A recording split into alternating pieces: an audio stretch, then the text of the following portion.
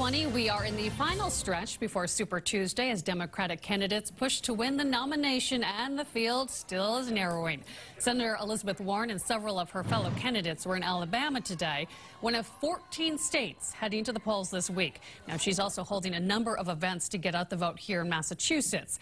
And a lot is at stake for the senator here in her home state. WBZ's Paul Burton reports. Hi, how are you? Knocking on doors, Great. So your polling location is making phone calls on Sunday. Supporters for Senator Elizabeth Warren were out in full force campaigning on her behalf for Super Tuesday.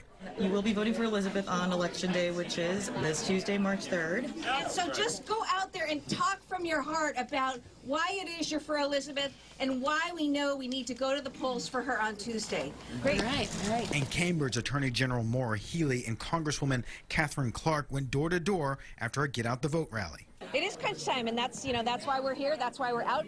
The good news is that's why you see so many people out today. It's about canvassing. It's about phone banks. One day after Senator Bernie Sanders held a rally on the Boston Common that drew in thousands, Democratic Representatives Joe Kennedy and Jim McGovern also campaigned on Warren's behalf. And I think she's the best candidate uh, uh, and make the best president, and I'm enthusiastically doing all I can to put her over the finish line. With Super Tuesday just a day away, the polls have Sanders and Warren pretty much neck and neck. Some voters say a loss here in Massachusetts would be a huge setback to her campaign.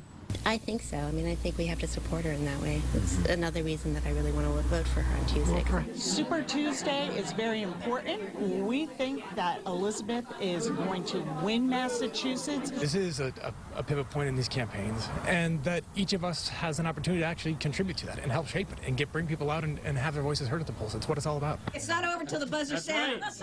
In Cambridge, I'm Paul Burton, WBZ News.